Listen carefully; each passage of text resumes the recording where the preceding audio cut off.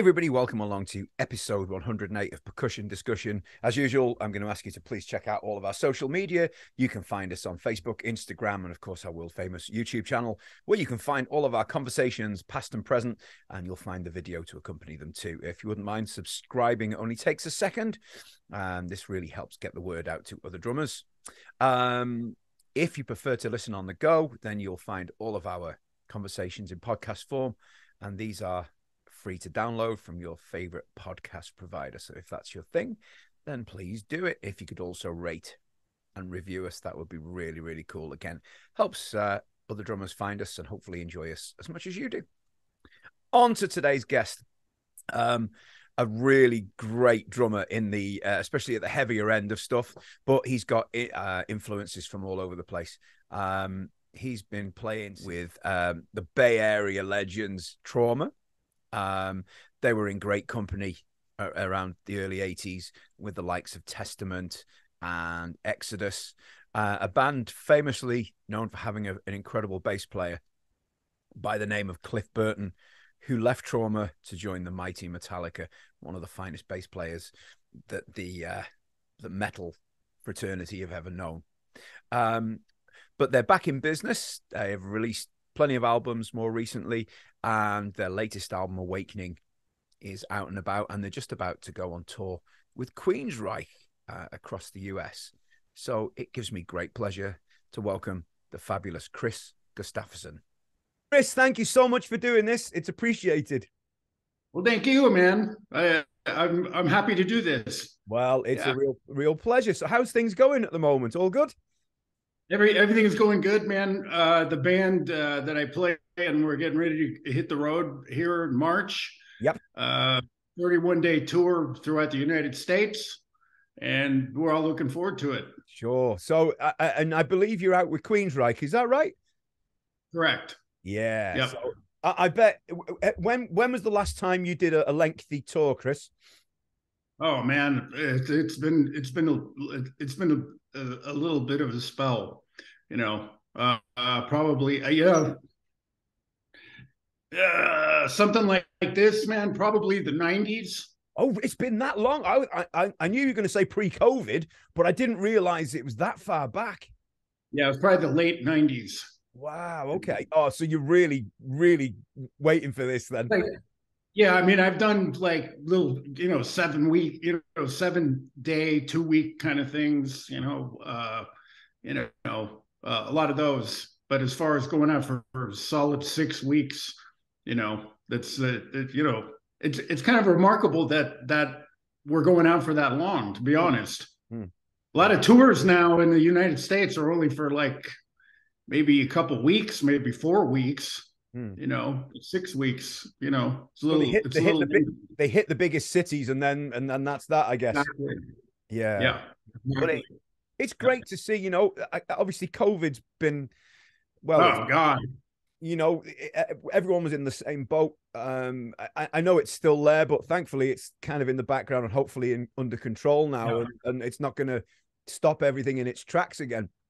But right. you know, it's nice to see things coming back. Tours are happening, bands are going out. Unfortunately, not so many American bands coming over here with with the state of Brexit and you know, it's finding it very difficult, especially on a slightly smaller scale. It's it must be tough that. So I'm glad you I'm glad you're getting out and and you've got a great yeah. album to promote as well.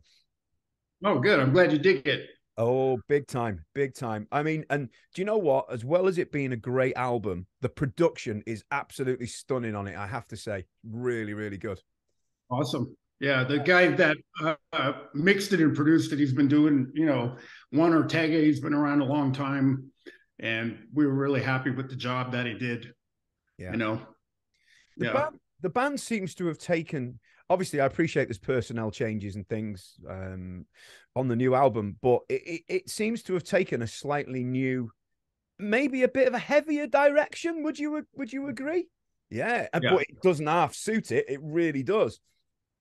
Yeah, yeah, yeah. We kind of wanted to do it that way, um, get a little heavier, you know, and you know, it was kind of fun. It was fun, you know, when we first started coming up with these tunes, and I was coming up with different beats and all kind of trying all kinds of different tricks and all this stuff. So it was it was actually a lot of fun. Mm. You know, yeah, absolutely. And I've noticed your, your drumming is very.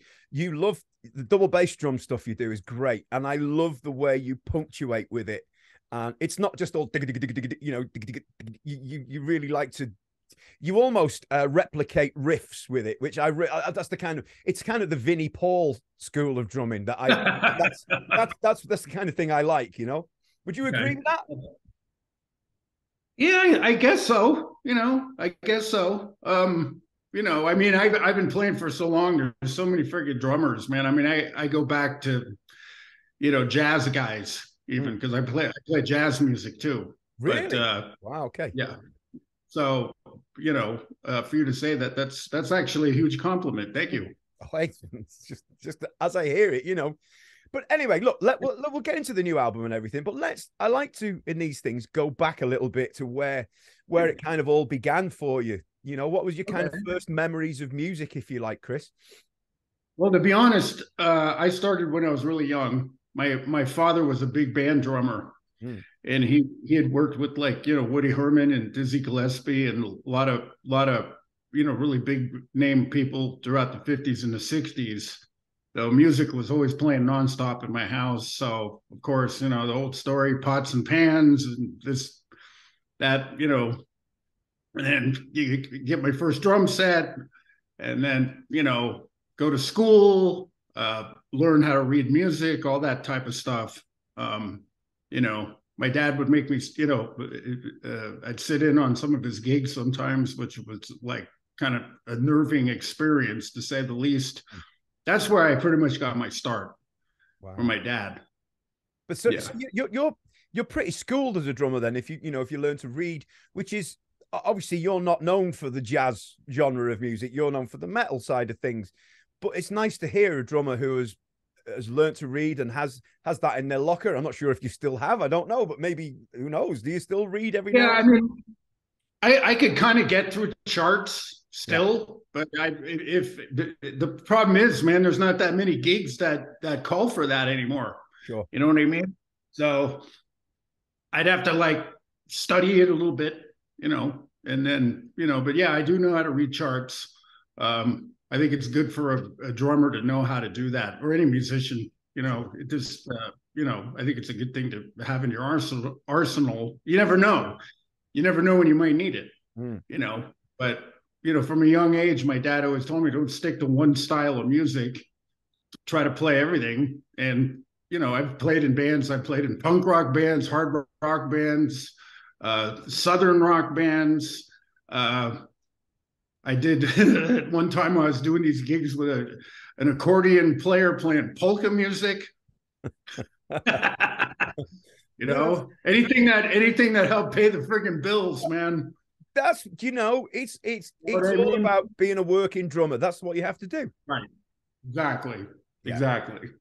And, you know. and, and I think you probably gain something, whether you think it at the time or not, from every gig you do. You're always oh, that's useful, or you learn something, you learn not to do something. I, I think right. every gig has got a value in it in in in that way, personally. Well, yeah. Well, especially if you're playing like different style, you know, different styles and stuff of music. You know, I mean, I, I like I said, I play jazz music, and you know, when I first started doing it, I didn't, you know, the old term bebop music. You know, the Charlie Parker stuff with Max Roach and all that type of stuff. I really got into that heavily, you know, and I was working with a guy a couple times a week an old bass player. God, he must be 92 now. Um, and he knew all those types of charts and, and all that type of music. He was actually a member of Buddy Rich's big band at one time. So it was wow. like a whole, yeah, it was like a whole learning experience mm. that, you know, was very useful. Yeah, absolutely. And and, and I'm a yeah. great believer. If you if you can play jazz convincingly, you can probably play most styles of music because to, to to do that make it sound authentic is is not easy i don't think. I'm i'm hopeless at it. I'm a pretender when it comes to jazz i don't mind saying. I know i know a lot of friends of mine that just you know have always played hard rock and metal and all that that have no concept whatsoever playing jazz. Yeah. You know but i i kind of grew up with it because of my dad you know So, so who who were your early influences then, uh, drumming wise? W- w- was it jazz musicians over the the rock and metal guys? Well, in the early, yeah, I mean, I always, I to this day, I still listen to a lot of jazz guys. You know, uh, probably if I had to say who my most favorite drummer ever was, would be Buddy Rich. Yeah, you know, um, you know, I listened to you know Louis Bellson, Gene Krupa, um, Max Roach, Art Blakey, uh, tons and tons of guys, and then I love you know Vinnie Colaiuta and Billy Cobham and all those kind of guys, the fusion guys. And there's so many guys who play metal and all that stuff. Um, you know, it, it, so you've got like a mishmash of, um, you know, which exactly, yeah, which is you know, great. Bonham, of course, you know, yeah. all that. You know. And then there was the yeah. likes of uh, of Bill Ward, who I always loved his oh yeah player. He he brings the jazz into it. And another one, and we spoke briefly before recording. Yeah. I think Neil Smith from the original Alice Cooper band has a great oh, touch oh, and, and a swing to it as well. Yeah. Yeah. Yeah. I like I always liked that way that dude played. Yeah. You know, that guy. He had like his own thing going on, which was really cool. You yeah. know, he had like set like Keith Moon, you know, and yeah, it's cool stuff. So yeah, man. Did you uh, did you have lessons or did you just kind of find your own way in into drums? Yeah, no, I never really had any formal training to be honest. You know, I went to a guy um, and learn how to read charts really, you know, really good, you know. And as far as, you know, going and, you know, doing things with teachers and all that, no, I'm pretty much self-taught. Yeah. Yeah. The, the old you know. school way. But that, do you know, I, I think some, yeah. some people say having a teacher is a bad thing because you got somebody influencing you. Somebody, some people say that you know, it's better the other way. But I, I don't know. As long as you find your own path and, and you, you know, you've you've been very successful. So who cares? It's one of those, isn't it? You know. Yeah.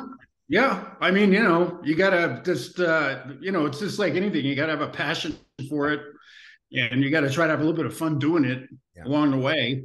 Yeah. You know, um, there is a lot to do as as you know. You know, learn. You know, playing drums. You know, so totally, totally. I, yeah. So how long before you got into the um, the slightly heavier end of things? Did it did, did it was it a natural progression into it, or at the same time as I should say, really? Well, you know, it's really interesting because I grew up in the San Francisco Bay Area, you know, and this is like the early 80s. So there was a huge, you know, between like 1977 1981, 82, there was actually a huge punk rock scene going, new wave scene going on in San Francisco. And I actually played in some punk rock bands. Right. You know, and that style of music was super fast. Mm. You know what I mean? So to to take that style and go right into metal was kind of simple to do. Sure. You know, because you're already playing fast as it is. You just have to integrate the bass drums into it. Mm. You know what I mean? So that's how I ended up getting into, into the band Trauma you know is uh i went from a punk, punk rock band right into you know pretty much into that. But um at that time i really wasn't you know these guys we're talking about you know from all these other bands man they were just starting out too yeah. you know? Yeah exodus testament back in those days. Yeah i think i think that back in those days the only guys who i was really listening to were like uh you know phil rudd from acdc um you know bonham yeah. uh you know, Bill Ward from Sabbath, uh, you know, Vinny Appice. Yeah. You know, the double bass drum guys weren't, I mean, they, except for Tommy Aldridge, of course, and Ginger Baker, you know, um, wasn't that as popular as it became. Mm, yeah, yeah, of know? course. Of course. It was yeah. all it was all ahead of you, wasn't it, really, at that point?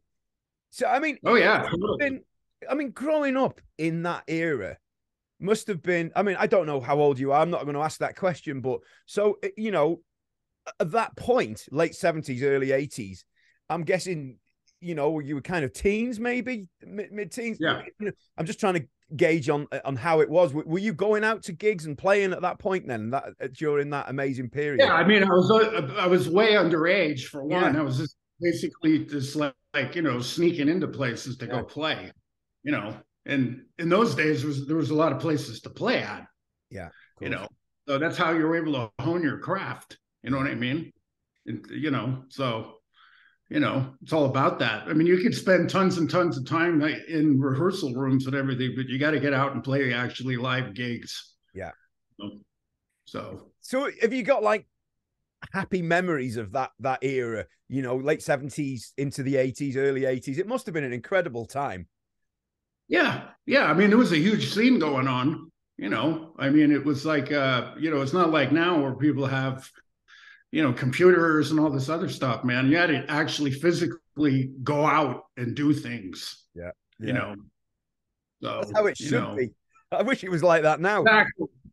Yeah. Exactly. I mean, there's I mean, yeah. I mean, back then there was always concerts going on. You could go see the big bands. You know, I mean, the Cow Palace in San Francisco. You know, I remember I was just talking to a buddy of mine today um, about I think it was 1977 or something. Uh, when Kiss played at the Cow Palace, you know, yeah. we were both at the same show. I mean, we were like little kids, you know. Ooh. So, are, are, you um are, are, you a Kiss fan? I I appreciate what they what they have been able to do for the last fifty years. Yeah, well. uh, I saw I saw them in 2019, right before the pandemic fully went into effect, and they were they were freaking killer. Yeah, Absolutely. Yeah. I've been a lifelong yeah. Kiss fan, and and I have this conversation with lots of people. I know Charlie Benante, um, uh, Roy Mayorga was on, I think, a couple of weeks ago, and he's he was a massive yeah. Kiss fan. So it's uh, yeah, I, I used oh, to have this conversation, but you know, yeah. So obviously, at that time, there was there was there was Testament, there was Exodus. There's of course mm-hmm. the, the Metallica. You know, it's an right. obvious one. Um, right. So Trauma, you you weren't the original drummer. Am I right in that? You weren't. No, no. I, I joined the band. Yeah, I joined the band uh, right around 1980. Jesus, man, this is going back so freaking long. 1983, I think. Yeah, sure. Yeah, right about in there, and then we put an album out in 1984. Oh yes, I remember the album. I've heard it many times over the years. Yeah, and then the band, you know, we we actually departed ways in like 1985. Yeah. You know, and then I ended up moving out of LA. So is that when you moved away at that point? So all them years ago? Wow. Yeah. Okay. Because yeah. I mean that uh, obviously Scratch and Scream is is, is the debut, and uh, bringing bringing down the house. I always remember that song, and I've always always loved it. Um, oh, it's you know a great album, and at the time the, the things that were going on, and obviously we and, and I'm sure you probably get sick of talking about this, but famously, of course, and I know he left before you joined. Obviously, the, mm-hmm. the, late and legendary Cliff Burton uh, had, right. had moved camps over to Metallica. I mean, an incredible that's that's a huge part of, of rock history, isn't it? Right there. And I know yeah. you've probably talked about it till you're sick of it, but it's I think it's important to keep that alive and, and Cliff's memory alive. Did you ever get to meet Cliff? Oh yeah, oh yeah. He he used to he would come to our gigs. You know when we when we would play in San Francisco. Yeah. Uh, most of the time he would show up. We would we'd drink some beer together, hang out, talk. He would tell us about Metallica.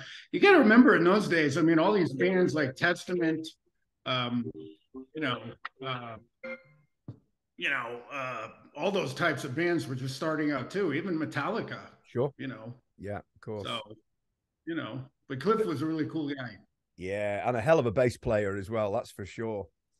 Yeah. So, so obviously, when the band finished, um, it, it's quite a short run, isn't it? Four years. It makes you wonder. Well, five, yeah, four, yeah, four years, wasn't it? It makes you wonder what what might have happened had the band stayed together. You know, might have it might have kept up with the might of the other bands. Who knows? Did, did it? Was it? Did it just kind of fizzle out in the end? What happened? Well, the problem was is like we were signed to a, a, a label that was just starting out, Shrapnel Records. Yeah, you know, and I think it it, it just we just didn't have any direction. Sure. You know, we didn't have a manager. Um, it was like uh, everybody was throwing ideas out. Oh, let's do this, let's do that. You know, da da da da da da. And we just didn't have any tour support to really go out and really hit it hard. And that was like uh, probably one of the biggest reasons why it it kind of fell apart. Um, and then you know everybody just got busy with living and just you know girlfriends and whatnot and the focus just seemed to like not be there yeah. you know and uh unfortunately that's what happened you know i mean i wish i could turn the clock back but i did i went on and did a bunch of other stuff anyways i never stopped yeah. uh, music. I played in a lot of other bands sure. you know? So, so you moved did you move to la uh, pretty soon after after the band finished in 85 yeah. Yeah. Mm-hmm. and then so yeah. look, talk us through a little bit. What what what did you do after that? Because there's obviously there's quite a long time before the band reformed. So what were you kind of up to at, at that point? Well i hooked up I, I i moved down to la i knew of a few people that lived there so I got I got kind of involved doing a little bit of studio work, which was really hard to get into that time at that time because you know you had the the the, the first call guys getting all the work, sure. you know, but you got to start somewhere. And I ran into this producer, a guy named Dito Godwin, that uh, went on to produce like, you know, uh, oh God, what's one of the bands, man? You know, I mean, he worked with like Peter Criss, okay, um, Great White, uh, oh man, uh, I can't remember the name of a really popular band in the 90s. Anyways, he was a, like a platinum type producer. Yeah. And he would turn me on to a lot of work you know, with different clients and whatnot that he had. He worked at a record label, you know, yada, yada, yada. But then I ended up joining a band. I came into town from uh, uh, Sacramento, a band called St. Elmo's Fire. Okay. I was in there for a little while. We put four albums out, uh, did a bunch of touring through the States. Um, then I moved back to San Francisco. Uh, I hooked up with uh, Frank Hannon from Tesla and was in a band, you know, with him for a while. Uh, did a bunch of touring, and primarily just, you know, did a bunch of, you know, anything from playing rock music to jazz uh, through in the Bay Area, uh, yeah. and just staying employed as a drummer. Sure, sure. You know, that's what I did. And did was that an enjoyable period for you? Because obviously, I, I, I, suppose you were living almost as a session musician and a sideman at that point, I guess. And is that? Yeah, I mean, I, I, at one point too during that period, I I actually hooked up with a couple ex members from the band Krokus, and oh, okay. that band, yeah, Krokus was on a, a, hiatus, and I ended up, you know, I was in this band for about three years, flying back and forth and back and forth to Switzerland, you know, and playing festival dates and all that stuff um, over there, and some tour dates. So I stayed pretty busy Yeah. you know. Um, and then we decided to put the trauma thing back together in 2013. Yeah. So that's kind of what happened with that. Was that an easy decision to make for you all? Um uh yes and no. Mm. You know, I mean, I knew I knew what I knew what it would take to get this thing off the ground again. Sure. And what I know now compared to what I know then, I probably I'm I it's hard to say if I would have done it. Yeah, sure. You know, because there's been so many people. Yeah, go ahead. No, sorry, no, no, no, it's fine. You carry on. It's okay. Yeah, it's it's it's it's been quite difficult to be honest with you. You know, because it's it, it's just the commitment level of what needs to be in place to do something like this uh, is it, it takes a lot of time. Mm. You know, takes a lot of time, takes a lot of energy. Yeah. And I'm sure you were in the back of your mind, you were thinking back to 1985. Well, this happened last time. And and I, I suppose were you when you reformed, you wouldn't have had any label behind you. I guess you were starting from scratch, or did you have label interest? We had some. Um, that really wasn't the reason to do it, though. The the only reason that kind of catapulted it for us to do it was we did a re-release on a Scratch and Scream record in 2013. Right. And Mike Varney basically said, Hey, it might be a good idea for you to have a band in case you get any calls to do some festivals, which we did. Mm-hmm. You know, we went and played in Germany and, you know, 70,000 tons of metal and some other stuff, you know, and the, those, those shows were a blast to do. But we've had a lot of people in and out of this yeah. thing since then. Yeah. You know, so.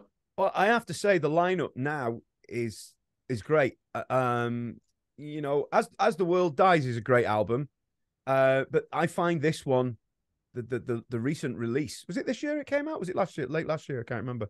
Yeah, September of last yeah. year. Yeah, It hasn't really even been out that long. No, not in the grand scheme, but Yeah. a great, great album. And so, uh, uh, is everything, everyone happy at the moment? And is it, is it, you know, everybody ready for this? And you know, a Yeah. place to be. Oh yeah, yeah. Everybody's stoked to get out there and just you know have an opportunity to you know play with a with a really good band. Yeah. And uh, you know play for the fans Sure. and all that. You know, um, we're we're really really looking forward to it. Mm. You know, And big it- it- time. obviously i uh being from over in the uk i'm i was looking through the dates before and i recognized some of the venue names but what what kind of size uh rooms are, are- are you going to be playing in i don't i have no clue obviously being over here you know i can tell you the british ones the, the capacities but are they big Yeah, yeah. I think you know they're anywhere from uh, like three thousand down to six hundred.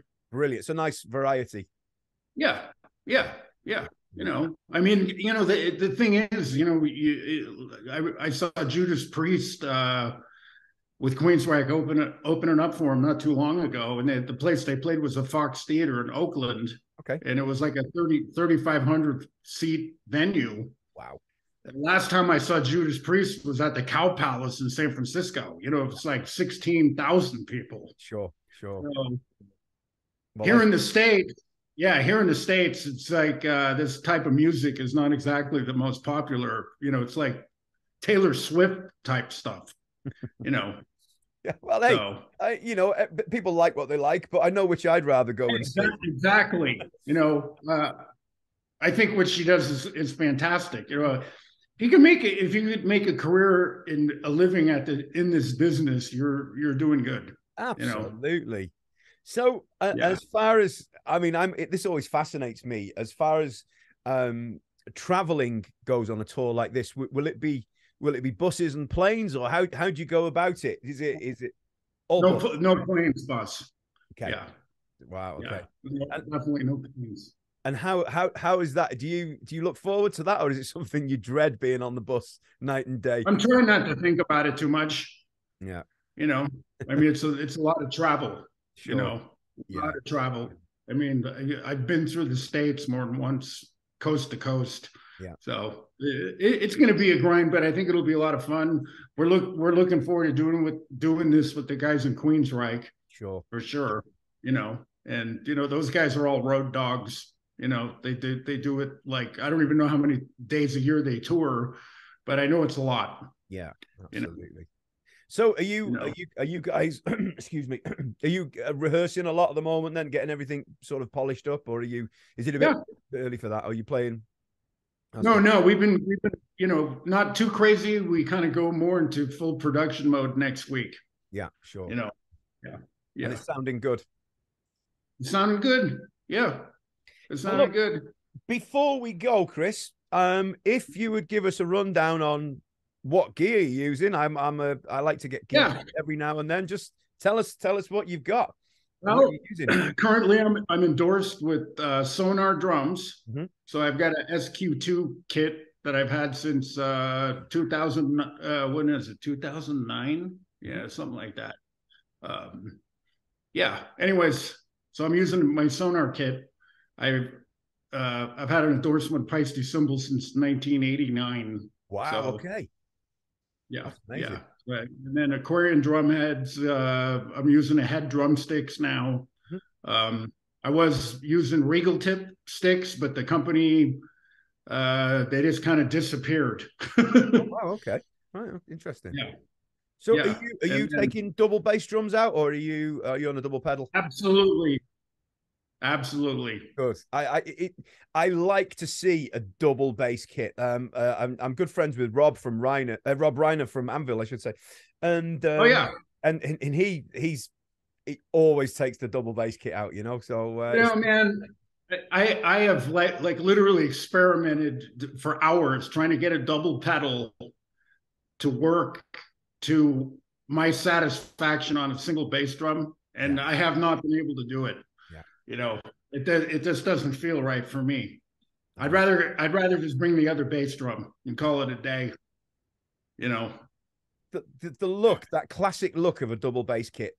I remember as a kid seeing the first one, and I'm just trying to think who it might have been. it, it could have been I don't know, it probably Cozy Powell or something like that. And oh I, hell yeah! I remember seeing it. It was just like, oh, he's got his name on the bass drums. I was blown away. You know, it's just. I, I think you used. I think you used the uh, 26 inch bass drums. I mean, I I still have my original set from when I recorded the Scratch and Scream record. Wow. And um, what is that? Uh, that was a Ludwig kit, mm. two two uh, uh, 14 by 26 inch kicks. Yeah you know, and then a, a crop load of toms. They're all in the same sizes 12 by 12, 13 by 13, 14 by, you know, 14. Mm. I got, I have all this stuff, Amazing. you know, still, you know. Do you ever play it still? I haven't played it in a long time. Wow. You know? I bet it sounds great. I love those square tom sizes, just huge. yeah, they're huge you know they're huge i, I wouldn't but, uh, like to mount a 14 by 14 on top of a 26 though i think you'd have to have the stool height about here somewhere to reach yeah them. i used to have i'd have my you know the seat pretty high yeah you know to do but that that's what i used to record that record you know okay wow you know amazing so uh, well look Kris thank you so much for doing this. I, I really appreciate it. It's been a real pleasure talking to you. And oh, um, oh, good luck, good luck with the tour with Queensryche. And who knows? Let we, we may see you over in the UK at some point. Maybe who knows? I would lo- I would love to get over there uh, at some point. Sure. You know, and play in the UK. I mean, what's the what's the metal scene in the UK right now? It's big. It's big, really yeah. big. To be fair, yeah. There's lots of gigs, lots of clubs, um, mid-sized venues. It's it's thriving. I have to say, it really is thriving.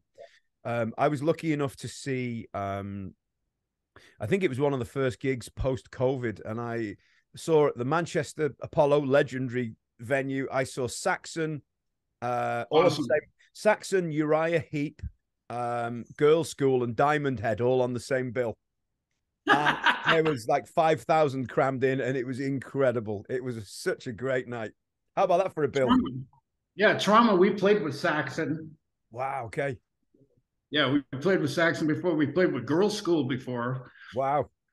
We were going to tour with uh, Diamond Head, and then uh, uh, we are actually going to go to Australia with those guys. But then the COVID thing freaking hit and ruined so many different things, man. Lots of plans you know. window. Yeah, absolutely. Yeah. Well, look. But hopefully things things will turn when we get over there. I, I do hope so. And when you're over here, hopefully I can come and say hello and uh, shake your hand. Oh, I'd love that. Likewise. Yeah, man. Thanks, Kris. Enjoy the rest of your day, and and I hope the tour goes really, really well for you. Well, thank you, man, and thank you for your time as well. My pleasure. See you soon. Thank you. Bye, buddy. Bye, bye. There we go, mate.